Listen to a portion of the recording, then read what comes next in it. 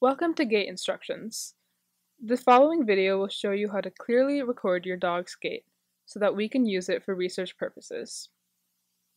Before you get started, it's important to calibrate the space and set up your camera properly.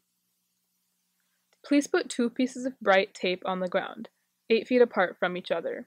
If you don't have tape, it's okay to use other markers, like sticky notes, that stay on the ground. Next, mount your camera so that its height is level with your dog's body. Make sure it's on something stable, like a tripod, a table, or a chair.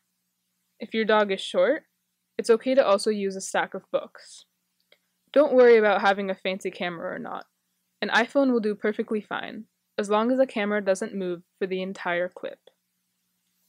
Move your camera back so that it is wide enough to capture both pieces of tape within the frame.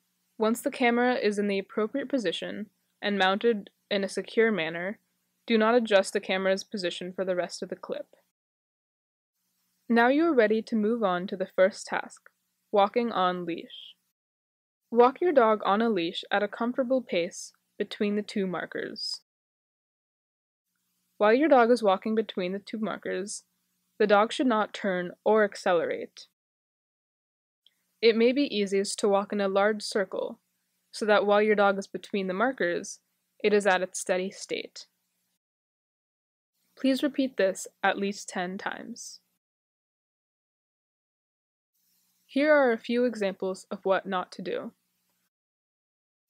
You should not be walking between the two markers instead of your dog.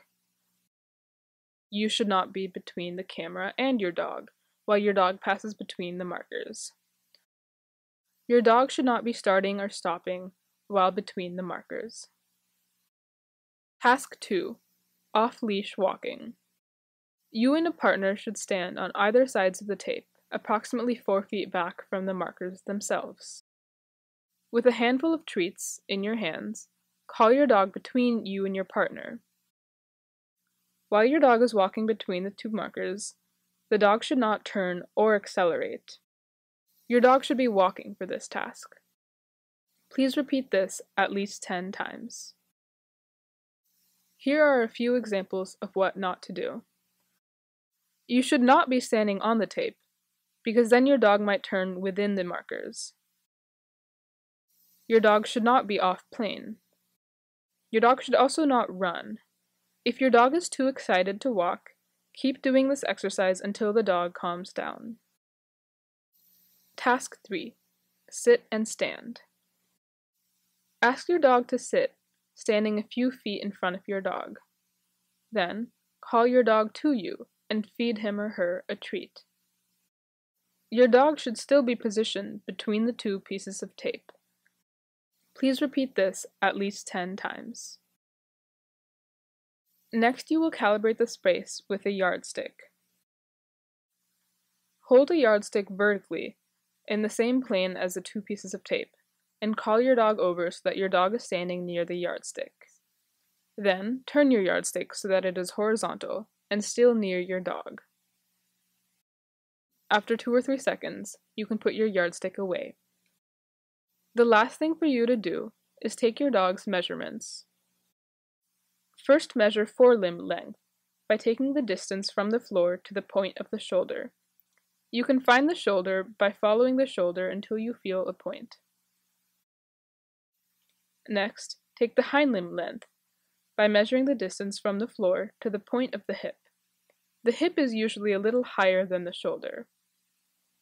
Then measure thigh circumference by measuring the widest part of your dog's thigh. This is usually the highest part at which the dog's thigh attaches to the body.